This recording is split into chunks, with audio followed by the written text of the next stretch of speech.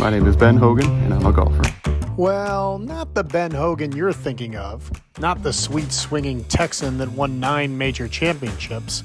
But as he said, this Ben Hogan's a pretty good golfer too, just like his dad Pat, whose buddies used to call him Ben. He said it wasn't specifically for the golf thing, but that he just liked the name. And I think it was, he got used to being called Ben, and it obviously had a ring to it, so he liked it. It didn't take long for this Ben to realize he shared his name with one of the greats. It was good and bad. Yeah. Uh, obviously, people remember it, uh, so it's it, it's an easy name to remember. Uh, but growing up, calling golf courses, trying to make tee times, I actually had to use fake names because when you hear a kid calling making a tee time for Ben Hogan, I got hung up on a lot. The current Ben actually worked in the golf business and at one time played professionally. And it's always interesting when he introduces himself to the other players. I get the same about three or four reactions out of everybody. You know, it's, oh, I've always wanted to play with Ben Hogan, or I get to say I played with Ben Hogan.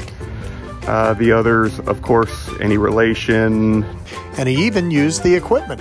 But actually, right when I first turned professional, I signed on with Spalding, who had just acquired the Ben Hogan company. So I did play Ben Hogan irons in, uh, I think that was about 2000.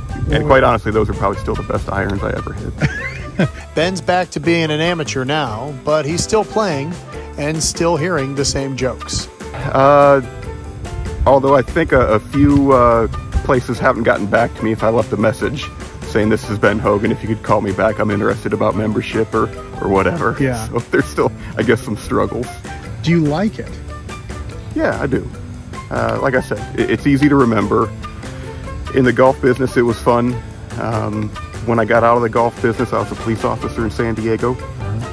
Uh, so it was kind of nice. I was either Officer Hogan or Detective Hogan or probably some other names that uh, the gang members or other people would call me.